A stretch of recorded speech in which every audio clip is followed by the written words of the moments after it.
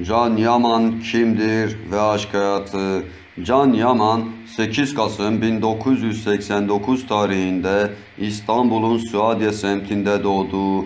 Aslen Yugoslav'dır. Ailenin tek çocuğudur. İtalyan lisesinde okudu. Liseyi birincilikle bitirdi.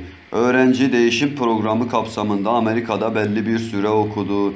İstanbul Yeditepe Üniversitesi hukuk bölümünden mezun oldu. 6 ay boyunca avukatlık yaptı.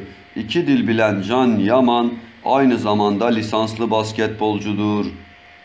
Can Yaman ilk olarak kamera karşısına Gönül İşleri dizisiyle geçti. Sinem Kobal ile rol aldı.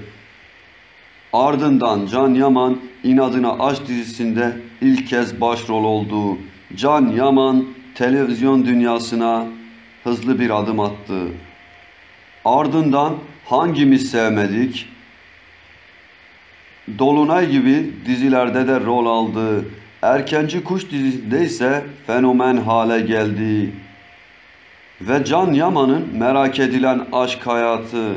Can Yaman İnadına Aşk dizisinin setinde yakınlaştı Açelya Topaloğlu'yla belli bir süre aşk yaşadı. Yakışıklı oyuncu Açelya Topaloğlu'ndan ayrıldıktan sonra arkadaş ortamında bir araya geldiği Bestemsu Özdemir'e kalbini kaptırdı. Bestemsu ile belli bir süre beraber olduktan sonra ondan da ayrıldı.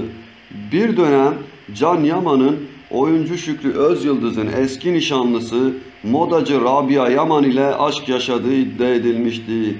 Yaman sosyal medya hesabı üzerinde iddiaları reddetti.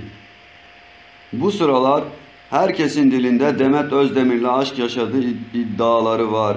Ne kadar doğru bilmiyoruz. Can Yaman kendine çok güveniyor. Bir röportajında ise şunları söyledi.